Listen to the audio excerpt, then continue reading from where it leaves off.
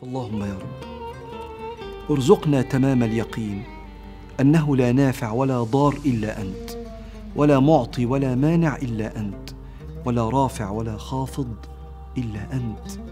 يا قادرا فوق خلقك يا مهيمنا على جميع ملكك.